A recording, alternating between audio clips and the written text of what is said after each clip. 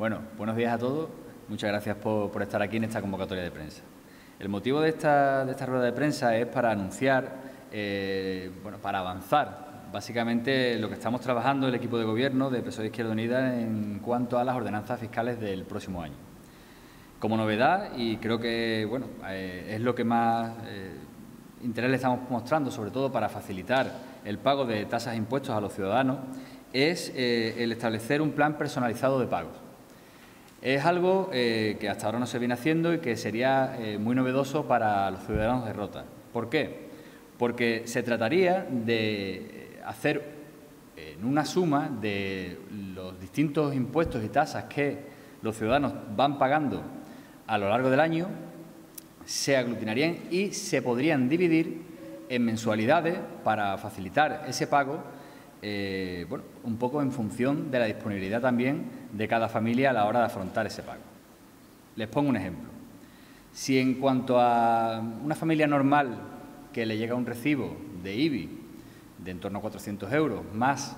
el impuesto de vehículo, más el impuesto de entrada de carruaje y, bueno, eh, algún impuesto más que pueda venir,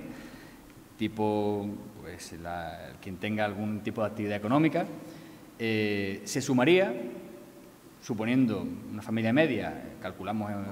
por ejemplo, 1.200 euros que se pagan al año y que actualmente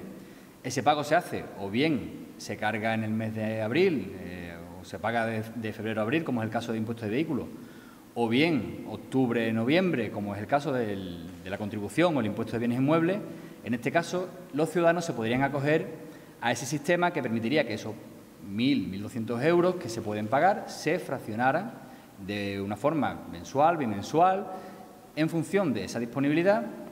y pues se podría pagar eh, de una forma más asequible eh, a lo largo del año. ¿Qué haríamos también para facilitar eso y para incentivar también que las familias se acogieran a, ese plan personalizado de pago?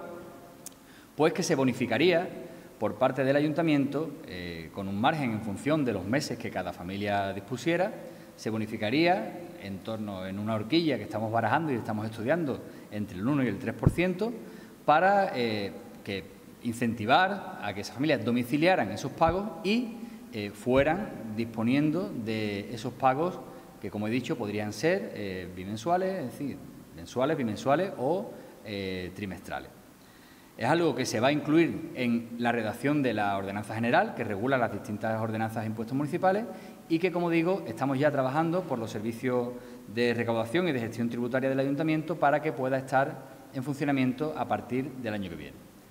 Entendemos que es algo novedoso y que en otros municipios que hemos estudiado y que se ha aplicado está funcionando de forma adecuada, correcta y es algo que flexibiliza el pago de esas tasas y esos impuestos. Y con una novedad más, y también quiero anunciarla, que es la tasa de basura.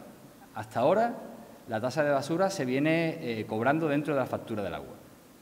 Es cierto que hay, eh, pues por muchos ciudadanos ha venido reivindicando que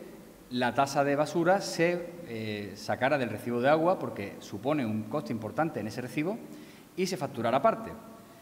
Hemos estado analizando que había dificultades a la hora de facturar aparte ese servicio, sobre todo porque generaría un coste adicional para el ayuntamiento. Sin embargo, hemos estado estudiando vías alternativas y sería no facturarla, sino hacer dos recibos de tasa al año, se pasaría como tasa y no, como, eh, y no dentro de una factura. ¿Y eso qué implicaría? Implicaría, por un lado, que esa tasa podría también entrar dentro de ese plan personalizado de pago, de forma que también pudiera adherirse a los distintos impuestos y tasas que se cobran por parte del ayuntamiento. Se pasaría también de forma que intentar vincular eh, de una forma o sea, de, una forma semestral o en dos recibos la suma total que se paga por los ciudadanos en cuanto a la tasa de basura y se notificaría dentro de las notificaciones que se hacen con el impuesto de vehículo y con las notificaciones que se hacen con el impuesto de IBI, de forma que al ayuntamiento no le supusiera un costo adicional en cuanto a notificaciones, que es una de las cosas que estábamos trabajando para que eso no fuera así. ¿Qué ventajas tiene esto? Varias. Por un lado, va a haberse reducido eh, la factura del agua, porque se saca eh, el coste de la tasa de basura. Pero además los ciudadanos, sobre todo, van a ver eh, que lo que pagan al año de basura, al incluirse como tasa y no dentro de una factura, va a haber al final, en el cómputo global, una rebaja de un 10% en lo que pagan los ciudadanos de basura por el hecho de que no va a pagar el IVA. Ahora mismo, al facturarse la basura dentro de la factura del agua,